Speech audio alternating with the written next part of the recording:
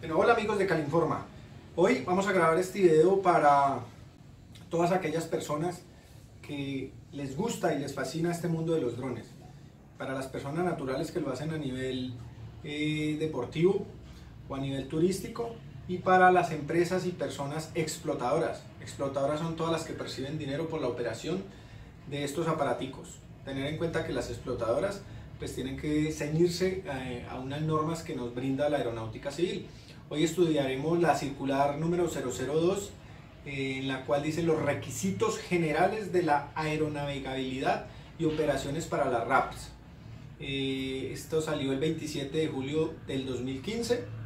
Son 34 páginas en total, pero hoy trabajaremos la página 1, la página 9 y la página 10.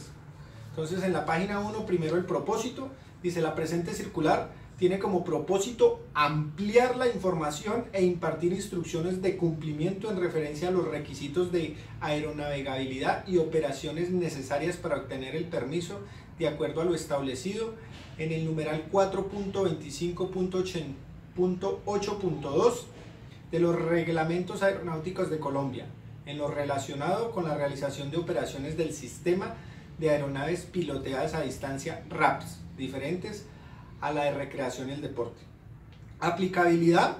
Esta circular aplica a cualquier persona natural o jurídica u organización gubernamental, civil, interesada en efectuar operaciones en el espacio aéreo colombiano con aeronaves piloteadas a distancia RPA, con fines diferentes a las de la recreación y el deporte. Entonces, para que lo tengan presente.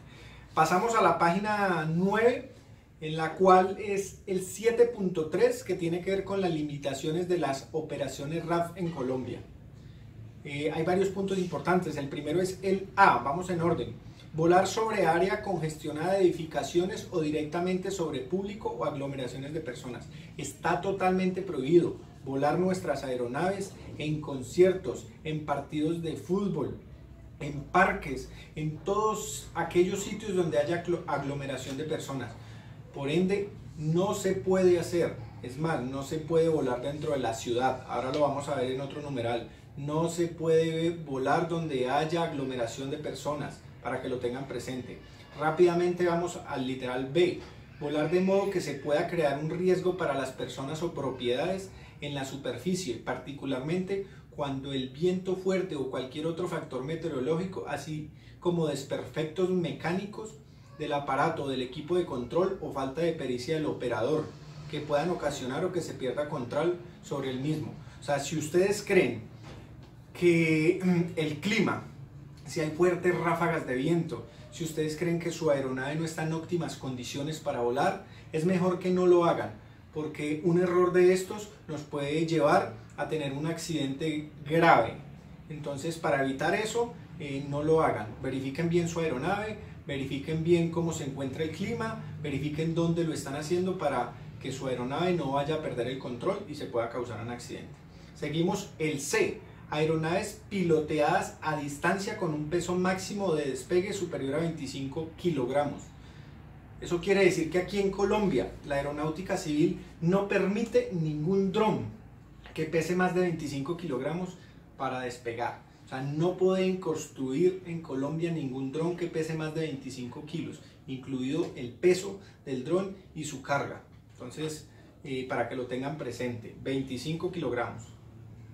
Vamos a la D, aeronaves piloteadas a distancia que porten pesos útiles diferentes a los elementos que sean aprobados por la DCNA para el vuelo a ser realizado. Eso quiere decir que si eh, compramos cualquiera de estos drones, en este caso que tenemos el Telo, tenemos el Phantom 4 Pro B2, tenemos el Spark, eh, no le podemos poner accesorios adicionales a los que ya traen originales. ¿Por qué? Porque eso puede hacer que pierda la estabilidad del dron y sea inseguro para poder volar y por ende pues nos causa un accidente.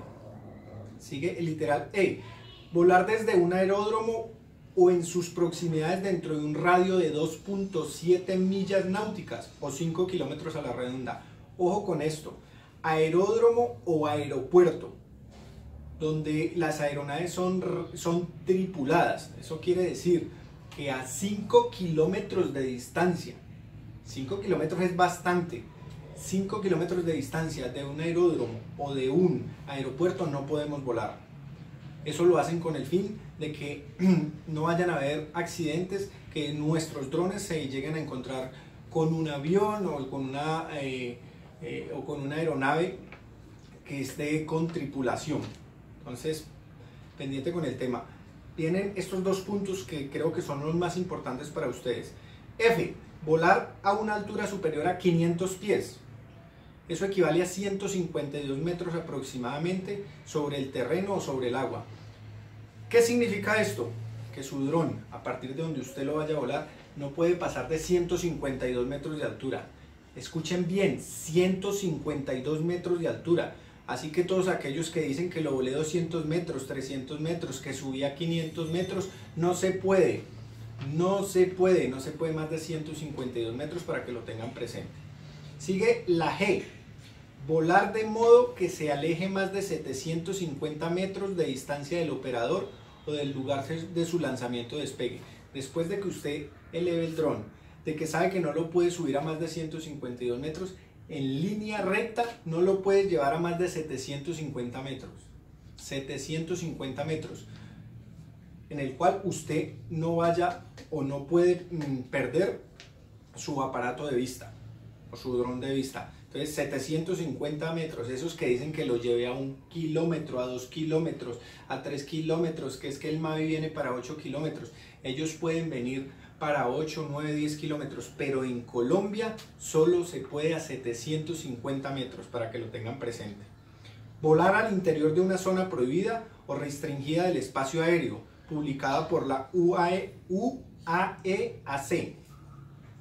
Ellos eh, normalmente en su página de la aeronáutica civil, eh, en caso de que haya un evento especial, restringen eh, el vuelo de las aeronaves. En este caso, los drones toca estar pendientes para no irnos, para no ir a volar el espacio aéreo de uno de los sitios que ellos tengan restringidos en el momento. el J, y ya con esto terminamos este video, para dejar para los otros para la próxima, dice volar en las proximidades dentro de un radio de una milla náutica o 1.8 kilómetros aproximadamente a la redonda de cualquier lugar donde se encuentre el presidente, el vicepresidente u otras autoridades nacionales extranjeras. Eso quieren decir, no vayan a volar su dron a 1.8 kilómetros donde se encuentre el presidente de la república o el vicepresidente.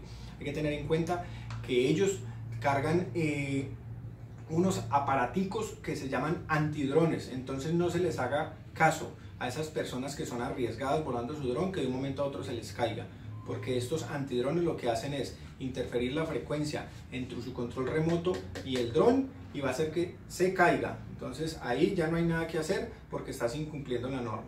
Entonces los dejo. Eh, ya les subiré el segundo video, estén muy pendientes muchachos, muy pendientes para que no causemos accidentes con nuestras aeronaves que tanto nos gustan. Un abrazo para todos, transmitió Mauricio Vidal para Cali Informa. Amigos, no olviden seguirnos en nuestras redes sociales, en YouTube, estamos como Cali Informa, no olviden suscribirse, tocar la campanita y en Instagram y Facebook como Cali Informa. Hasta la próxima.